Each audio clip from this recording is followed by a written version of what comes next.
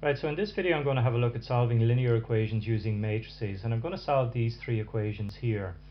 We have three equations, we have three unknowns and I've done a video previously where we've solved these kind of equations using algebra but in this video I'm just going to use uh, matrices to solve them.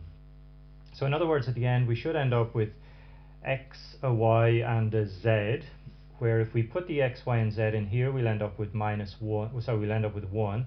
If we put the same x, y and z in here we'll end up with minus 4. If we put the same x, y and z in here we'll end up with minus 3. So I've written the um, these three equations using matrices here. Um, these represent the coefficients of the x's, these represent the coefficients of the y's, and these represent the coefficients of the z's um, we have our x, y and z here and these are our numbers on the right hand side of the equations.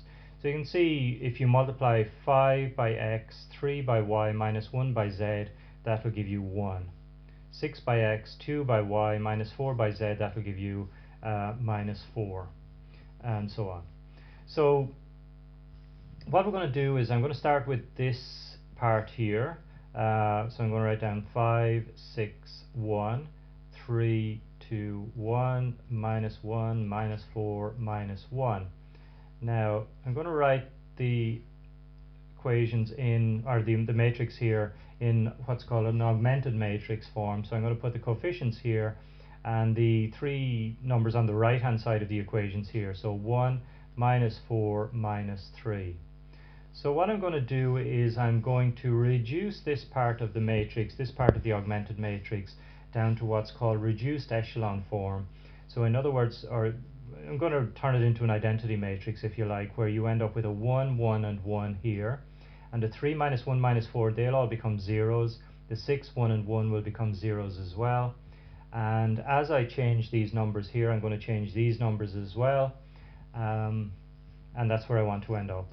Now in order to reduce these numbers down to 1, 1 and 1 in the diagonal and everything else 0, um, I'm going to perform certain operations. And the operations I'm going to perform will be multiplying each row by a particular number, by any number.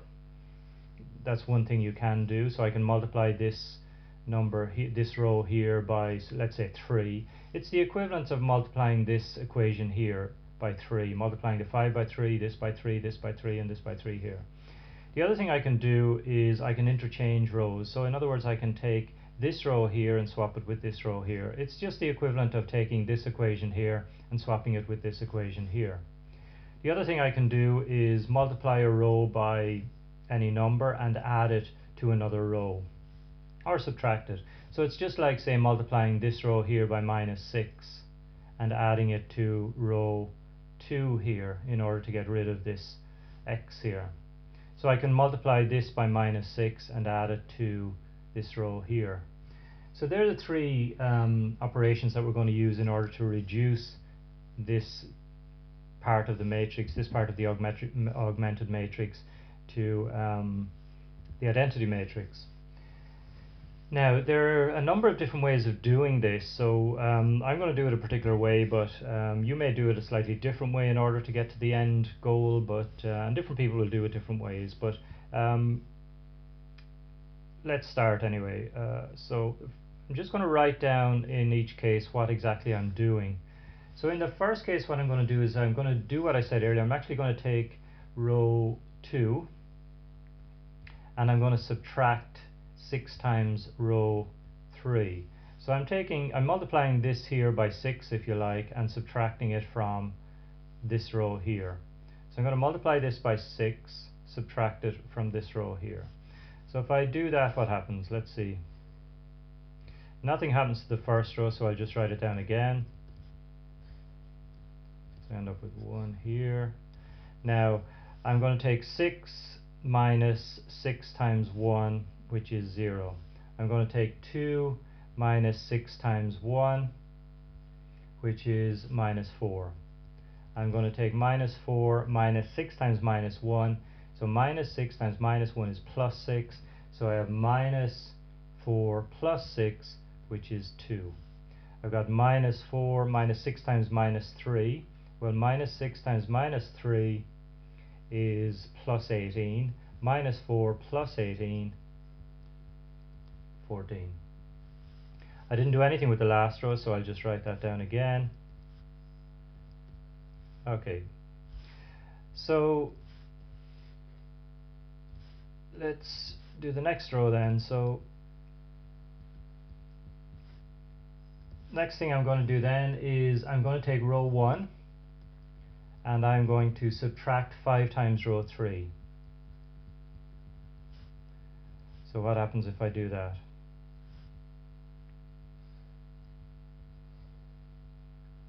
So I'm going to take row 1. I'll just write that in here. Now, so I'm going to take row 1 and I'm going to subtract 5 times row 3. So 5 minus 5 times 1, that will just give me uh, 0 here. 3 minus 5 times 1, so 3 minus 5, that will just give me minus 2. Minus 1, minus 5 times minus 1 is plus 5, so minus 1 plus 5, that will give me 4. And here I've got 1 minus 5 times minus 3, so that's a plus 15. So 1 plus 15, that'll give me 16. And the rest are unchanged.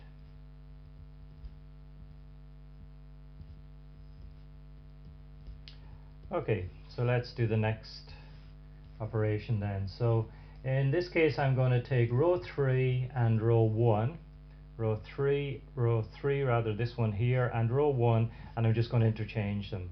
So I'm going to take row 1 and row 3 and I'm going to interchange those two rows. So let's do that. So I'll end up with 1, 1, minus 1 here and a minus 3 here. This is 0, minus 4, 2 and 14 and here I end up with 0, minus 2, 4 and 16. Let me just move this over a little bit. Looks like 24. It's actually a 4 here. Okay, so um, next one.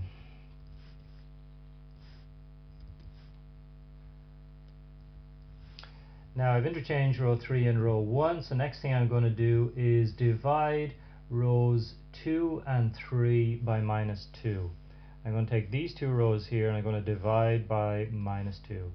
So I'm going to divide rows 2 and rows 3 by minus 2. So let's see what happens when we do that. So we get 1, 1, minus 1 and minus 3. Here I end up with 0, 2, minus 1, minus 7. Here I'll end up with 0, 1, minus 2, and minus 8. Okay, so all I've done is divided these numbers and these numbers here by minus 2.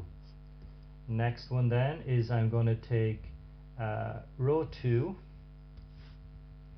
I'm going to take row 2 and I'm going to subtract twice row 3. So I'm going to um, take twice row 3 and I'm going to subtract it from row 2. Sorry, this one here. I'm going to take twice this row here and subtract it from this row here. Let's run through that.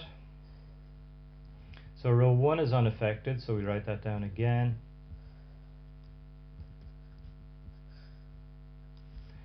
Okay, so row 2 minus twice row 3. Well, 0 minus twice 0 is just going to be 0.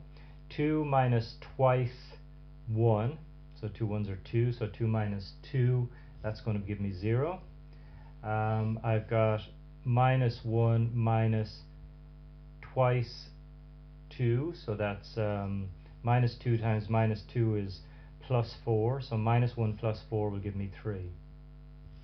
Uh, minus 7 minus twice minus 8. Well, minus twice times minus 8 is plus 16 minus 7 plus 16 will give me 9 and the last row then is unchanged. So 0 1 minus 2 minus 8 okay next one then. Um, Right, so this time I'm going to take row 2 and I'm just going to divide it by 3. So I'm going to take row 2 and I'm going to divide it by 3. So first row is unchanged, 1, 1, minus 1 and 3, that's a minus 3. Here I'll end up with 0, 0, 1, 3 and here I have 0, 1, minus 2, minus 8. Next one then, I'm going to take row 2 and row 3, row 2 and row 3, and I'm just going to interchange those. Row 2 and row 3, which I'm just going to interchange. So I got 1, 1, minus 1, minus 3, now I'm interchanging rows 2 and 3, so here I'll end up with 0, 1, minus 2, minus 8. And on the bottom here I'll end up with 0, 0, 1, and 3. Okay, so you can see here what I've done. I've ended up with 1, 1, and 1 here in the diagonal, so that's fine so far. I just need to change these to zeros as well. Now there is a way of just stopping here, going back to the equations, and working them out. You can see here that this z here, this is this this is effectively my coefficient of z, and that's going to be equal to 3. So I know that z is going to be equal to 3. And I can put that in here and work out my y, and then put those two in here and work out x. But I'll just continue on and do what I said I was going to do initially, and just end up with all zeros except for this diagonal here. That'll give me x, y, and z directly. So let's just do the next line. Um, Okay, so we've interchanged rows 2 and 3. The next thing I'm going to do is add row 1 and row 3. I'm going to add, take row 1 and add row 3. So one, so this row plus this row here. So 1 plus 0 is 1, 1 plus 0 is 1, minus 1 plus 1 will give me a 0.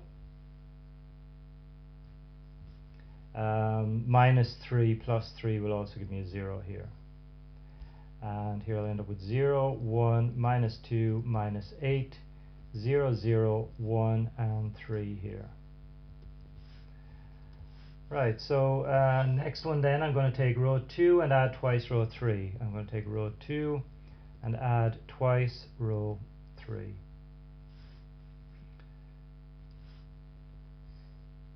Okay, so row 2 and row 3, so row 1 doesn't change, 1, 1, 0, and 0. Now, row 2, so 0 plus twice 0 is just going to be 0. 1 plus twice 0 is going to be 1. Minus 2 plus twice 1, that will give me 0. And minus 8 plus twice uh, 3, 2 3s are 6 minus 8 will give me minus 2. Here I'll end up with, nothing changes here, so it's 0, 0, 1, and 3. So we're almost there.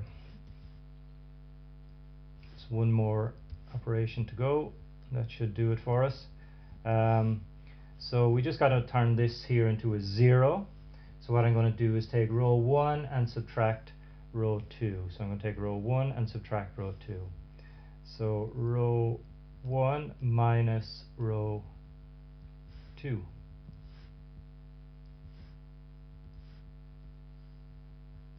So that'll give me 1, 0, 0 and 0 minus minus 2 is plus 2 so I'll end up with plus 2 here.